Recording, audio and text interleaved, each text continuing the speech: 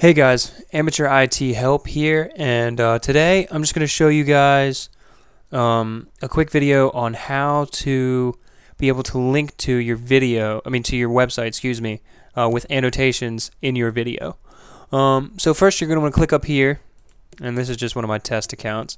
You're going to want to click up here and go to Settings, okay? Alright, now once you get to settings, you see all these different uh, like account settings and channel settings. Alright, you want to go down to uh, channel settings and then go to associated website. Okay?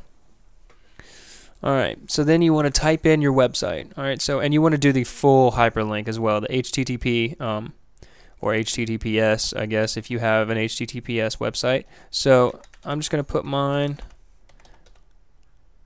in there right now.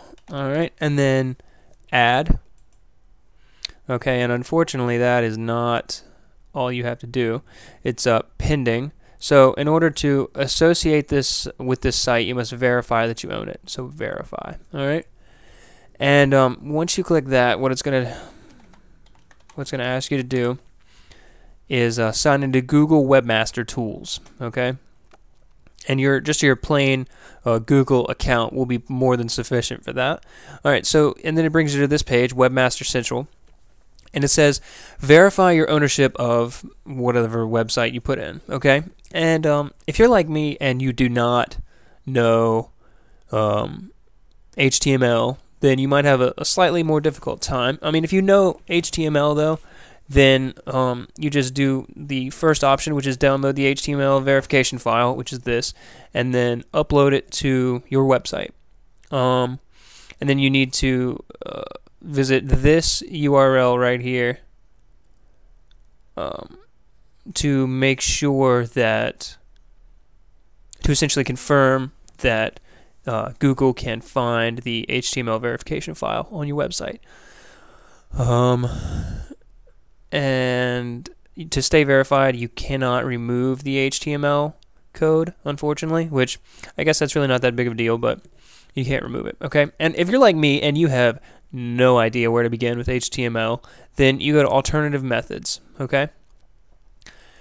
Um, and you can use your Google Analytics or your domain, you sign into your domain name provider, um, and basically follow the instructions that they give you. The method that I did was I used my Google Analytics um, ID uh, through my provider, which is Wix. And um, Wix is awesome, by the way, for making a website. It's extremely easy. You don't have to know any HTML. It's basically just click and drag. Um, and yeah, I mean, it's a really great website um, creation it's a website creation website. So yeah, um, and it's free. So you know you can make a website. Uh, you have limited bandwidth on the free version, which is you know fine, whatever. You know it's still cool. You know you can learn how to build it. Um, the editor is super super simple, and there's tons and tons and tons of videos.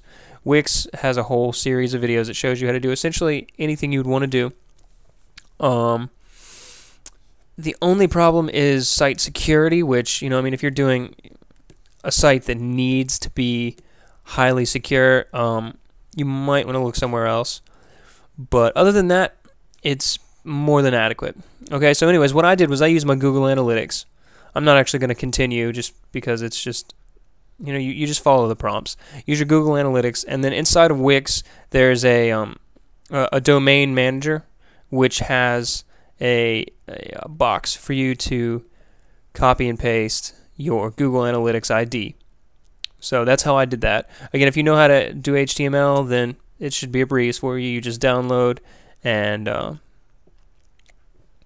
and verify it, and then you're off to the races. Okay, so um, this video again is mainly just about um, just about how to actually find the uh, associated website ta website tab in YouTube. So again, one more time, you go up here to your settings or, or to your to your drop down menu and then to settings. All right, and then down to the very bottom to channel settings. This is a relatively new feature, I believe. And you type in your website and then you verify it. And verifying is relatively easy. Like I said with Wix, um, they actually have videos on their support forum that tell you how to do um, anything you need to do. Which that's how I figured out how to do it for Wix. It was a bit not not using HTML. It was a bit difficult, but you know, it. I figured it out. It was easy. If I can figure it out, you can figure it out. Believe me. So, anyways, guys, that was just a quick video. Um, or this was just a quick video to show you how to have an associated website. Oh, before I do, before I go though, I want to go to my video manager. Oh, actually, I'm not going to be able to do it, but I'll, I'll show you anyway. I'll go to my video manager, and then we'll just uh, click on that, and I'll show you how to. Okay, so we're going to add an annotation. All right, so we would. My internet's moving kind of slowly. We would add an, an annotation. All right, you can pick whatever you want, whichever. I'm just gonna. I'm just gonna do note. All right, and then we would do link and then video. From video, we would do this list right here instead of being just video playlist channel subscribe or fundraising project would also have associated website um, and it would also i believe have merc merc website. Like for instance um, where if you had t-shirts or whatever um, so there would be an extra an extra um, couple of options down here at the bottom. So you would just click on that and then you would be able to post paste, excuse me, paste your link into into this box right here, and then it would essentially function exactly like any other annotation. You know, start the time wherever you want it to start, um, start end, um, open link in new window, which I would highly recommend. I always, always, always recommend opening links in new windows, um,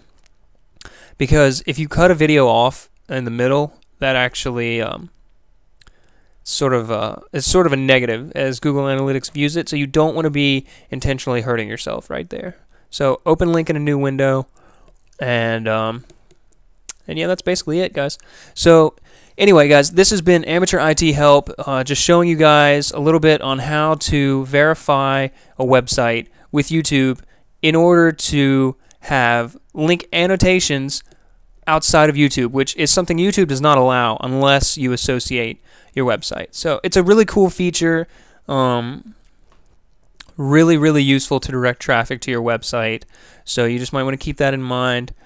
And um, yeah, guys, so just, oh, real quick, just stay tuned. I'm going to be doing an entire series on how to do internet promotion. Um, I've got a couple of videos in the works right now, and I've got a whole lot more planned. Also, check out my blog um, my WordPress WordPress blog, excuse me, is on my channel page. Check that out. Um, and for for more information, I'm going to be doing a blog post on a whole bunch of different topics. Um, and there's going to be links everywhere. You know, everything that I recommend to use. There's going to be links. There's going to be links to my own tutorial videos. It's going to be pretty cool, guys. So anyway, with no further ado, we'll just go ahead and end this video. Um, guys, this has been Amateur IT Help, and I will catch you next time.